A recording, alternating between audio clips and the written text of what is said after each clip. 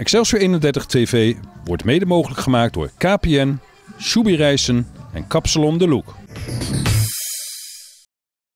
Martijn Beltman, assistent uh, trainer van het uh, eerste elftal van Excelsior 31. We staan hier na de wedstrijd Genemuiden, Excelsior 31. Volgens mij liep jij nog op het veld en uh, de reservespelers die moesten nog gaan plaatsnemen op de bank. Toen stond al 1-0 voor Genemuiden. Ja, volgens mij was het 35 seconden of zo. Dus het was echt één bal de hoek in. Tom die verkeek zich op die op een buitenspeler. En ja, het was voorzet en klaar. Dus dan, ja, dan gaan al je plannen voor de eerste helft zo'n beetje. Ja, want jullie hebben natuurlijk plannen gemaakt. Dat doe je bij elke wedstrijd. En ja, geen muiden uit. Ja, het is een goede ploeg. op papier, maar in het echt natuurlijk ook. Ja, dan kom je snel 1-0 achter. Hoe ga je dat herpakken dan? Nou, het was op zich wel. Uh, uh, ze zetten heel veel druk in het begin. Eerste, eerste, eerste deel van de wedstrijd. Wel wat anders dan de uh, afgelopen weken wat ze gedaan hebben. En ook vorig jaar tegen ons. maar het lukte wel aardig om daar, ja, ondanks dat we snel 1-0 achter kwamen, tussen linies goed door te voetballen. Dus dat maakte dat zij wel weer aan twijfel kwamen. Wij eigenlijk vond ik wel goed aan het voetballen bleven. ja, wat, wat, wat, wat ja, kansjes krijgen, wat mogelijkheden krijgen. Nou, ik denk dat het niets een, een panel cadeau krijgen. Ja, volgens mij was het Hens, maar dat is moeilijk te zien vanaf de zijlijn. Vanaf ons, dus het zal zo zijn. En uh, ja, ja, het is wel balen dat zo'n bal er dan niet in gaat. Ja, maar ik hoorde dat hij goed, in, goed was ingeschoten, maar die mening deel ik niet. Uh, goed inschieten is gewoon doelpunt. Oh, goede panel zit erin, toch? Ja, ja. maar daarna, uh, ja, je mist hem. Uh, de kopjes gaan niet hangen en jullie blijven gewoon doorgaan. Want jullie hebben op zich de eerste helft beter gevoetbald dan geen Muiden.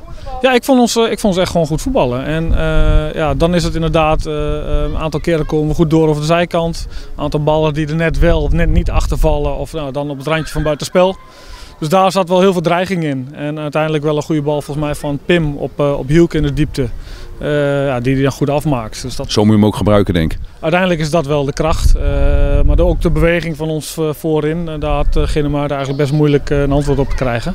Dus dat was wel, nou, uiteindelijk is dat wel wat, wat ook wel de bedoeling was. En uiteindelijk ook zo uitpakt.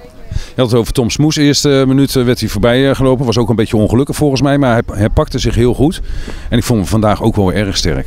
Hij heeft een uh, prima wedstrijd gevoetbald. En je ziet dat hij uh, zijn drive naar voren soms wel meer is dan zijn drive naar achteren. En dat, uh, dat is ja, in voordeel naar, naar voren. Maar ja, het verdedigend, ja, dat blijft dan soms wel even spannend. Maar dat heeft hij vandaag fantastisch opgepakt. Je hebt het over de verdediging, maar de verdediging stond toch wel als een huis, toch? Ja, volgens mij, uh, volgens mij stond dat prima. En uh, nou, moest in de rust af. Dat heeft Stijn goed opgepakt. Uh, nou, die vult het eigenlijk moeiteloos aan. En nou, Joost, Pim had de organisatie goed staan. Dus.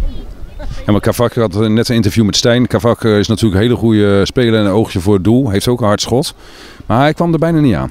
Nee, ja, dat is, maar dat is ook wel direct het gevaar van En Hooiveld en Kavak je ziet ze minutenlang niet. En uh, dan hebben ze hun eigen moment. Er komt nog een momentje wat me kan herinneren dat uh, Kavak wel rond de 16 de bal vrij krijgt. En uh, toch wel aardig, aardig gericht op dat doel schiet. En dan zit er wel vuur achter. Ik vond al met al in de eerste helft vond ik Excelsior toch beter.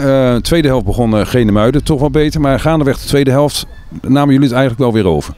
Jawel, en dat, dat uh, ook daarin uh, wat, wat, druk van beide kanten wel weer. En uh, nou, uiteindelijk worden de ruimtes allemaal wat groter. En volgens mij niet omdat we dat vanuit voetbal perspectief zo goed voor elkaar krijgen. En ook bij hun kant niet. Maar je ziet ja, in deze fase van de competitie dat de ja, gaandeweg de tweede helft vermoeidheid wat toeslaat.